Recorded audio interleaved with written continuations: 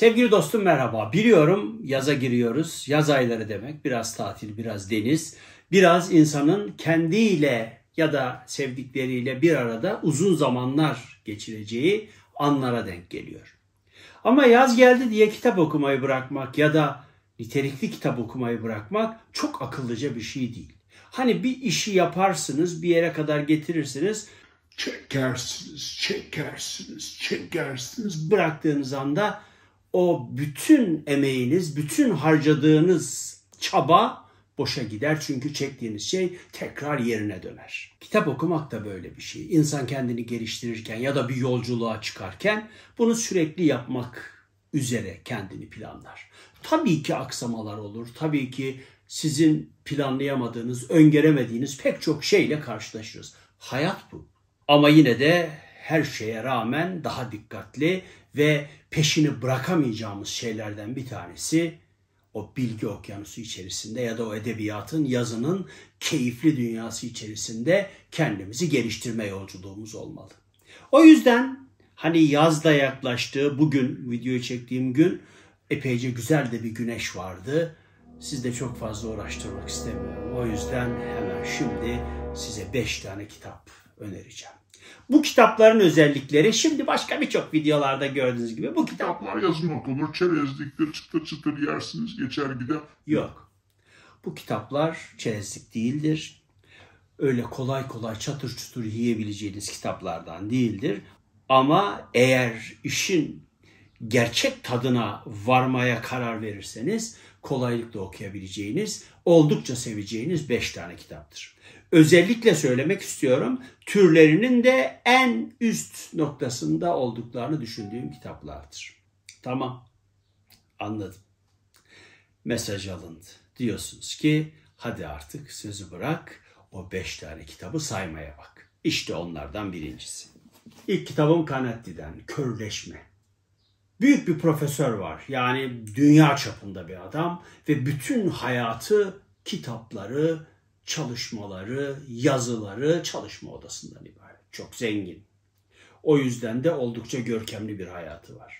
Fakat kitaplar öylesine büyük bir perde olmuş ki kendisiyle hayat arasında her şeyi kaybeder olmuş. Sonra eve birisi geliyor. Hizmetini yapmak, onun işte günlük ihtiyaçlarını karşılamak üzere. Fakat iş ondan sonra çok karışıyor. Biz aslında sadece profesörün o hayatla karşılaşması. Bu o kadın aslında dünya demek, hayat demek, sıradanlık demek, günlük beşkalelerimiz, dertlerimiz demek. Düşünün. Neleri neler için feda ettiğimizi anlatan çok harika bir kitaptır. Hem profesörü hem bir şeye tutkuyla bağlanmanın nereye kadar insana çok iyi geleceğini anlatan ve körleşmenin sadece o doğal hastalıktan kaynaklanan şeyin dışında pek çok insanın başında bir bela olduğunu gösteren harika bir kitaptı. Mutlaka tavsiye ederim. Yazın okunur mu? Okunur. Neden okunmasın? Yazın hem de çok güzel okunur. Biraz daha rahatlatayım sizi. Zweig'ın bir eseri. Evet Zweig'ın psikolojik temalı yani o insanın ruhunu çekip çıkartan, onun o psikolog tarafını ortaya çıkartan, bizi her romanında terapiye sokan satranç olağanüstü bir gün, mecburiyet gibi kitapları dışında bir de onun aslında Zweig'ın edebiyat dünyasında yine böyle kalbur üstü kaldığı noktalardan bir tanesi. Biyografi yazarlığı. Üç büyük ustayı yazmış. Balzac, Dickens, Dostoyevski. Gerçekten üçü de çok önemli adamlar edebiyat dünyası için ve biz onların romanlarını okuyoruz. Zweig bize onların iç dünyalarını okumuş ve oldukça keyifli bir şekilde okumuş. Yazın okunabilir mi hem de nasıl? Plajda bile okunur. Büyük ustalardan kimi bu seçkinin içerisine, bu beşin içerisine koysam diye düşündüm, düşündüm, düşündüm. Ve sonunda aklıma Turganev geldi. Ya da Turganev'le uzlaştık. Babalar ve oğullar gerçekten de edebiyat dünyasının önemli kitaplarından birisi olmasının yanı sıra okunması gereken hem keyif hem haz hem de düşünce dünyamıza önemli şeyler katan kitaplardan birisi olduğu için. Eski nesille nihilist yani hiççi, hiçbir şeyi takmayan, umursamayan gençlik arasındaki çatışmayı anlatıyor. Biraz karikatürize ediyor, biraz altına basıyor, kanırtıyor. Yani ben gençlerin hani ben de aslında benden önceki nesle göre genç sayıldığım için biraz bu konuda kendimi gençlerin tarafında görüyorum.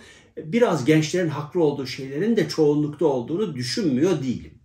Fakat yaşadığımız çağ, sosyal medya, uğraşılarımız biraz böyle çok hercai gönüllü bir hale gelişimizi de göz ardı edip kap, gözümü kapatacak değilim.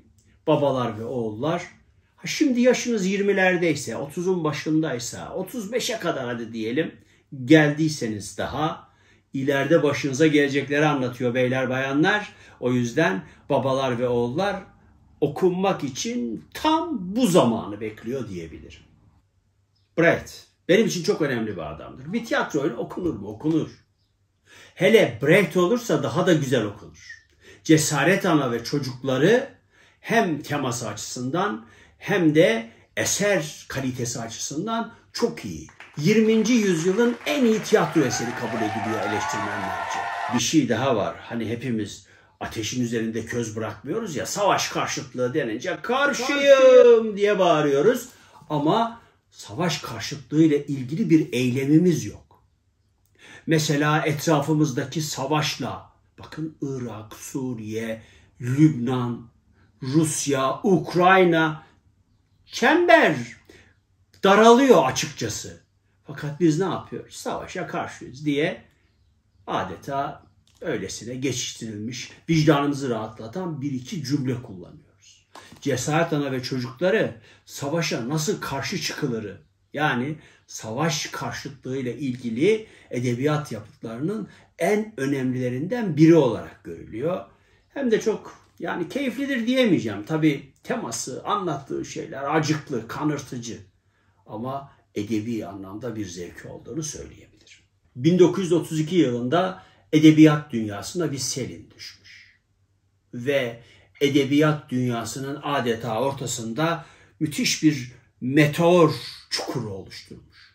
Gecenin sonuna yolculuk diye bir kitap yazmış. Önemli mi bilmiyorum ama bence önemli. Lemont yüzyılın en iyi 100 kitabını belirlemiş. Gecenin içinden yolculuğu 6. sıraya yerleştirmiş. Hak ediyor. Bir roman ama roman okumuyorsunuz. Baştan sona kadar epik bir destanla karşı karşıyasınız. Şiirsel ifadeler, insanın canını acıtan tamlamalar, tanımlamalar, betimlemeler, gecenin sonuna yolculuk zor okunan bir metin. Ama gecenin sonuna sizi çeke çeke, sürükleye sürükleye, yani saçınızı yola yola getiriyor dersem yanlış söylemiş olma. Elimde Yapı Kredi Bankası tarafından çıkartılmış Yiğit Bener'in çevirdiği bir nüshası var. Ciltli kapak. Hani şimdi birazcık öyle anlatıyorlar ya hani şöyle diyor. Çok da hoşuma gidiyor bazen karşılaşıyorum. Arkadaşlar ciltli kapak müthiş. Hem rengi de mükemmel. Bakın kütüphanemde çok güzel duracak. Ben aslında kütüphanemde bir renk uyumuna çok dikkat ediyorum. 100 bin kişi izliyor.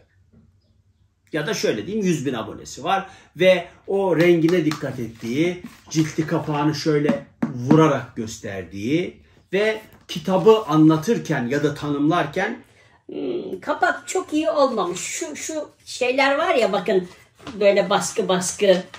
Onlar gofre galiba. Gofreleri biraz zayıf kalmış. diyen pek çok kitap sayfası var ya da kitap kanalı var. Olsun onlara da ihtiyaç var ama onların tuzağına düşmek çok tehlikeli bir şey. Çünkü kitap okuduğunuzu zannederek aslında çöplüğün içerisinde hiçbir işe yaramayan bir şeyleri arayıp duruyorsunuz. Her neyse benim beşim gerçekten de edebiyat dünyasının klas kitaplarından ya da edebiyat dünyasının kariyerini yükselten eserlerden oluşuyordu. Ümit ederim yazın en azından bir tanesini okursunuz.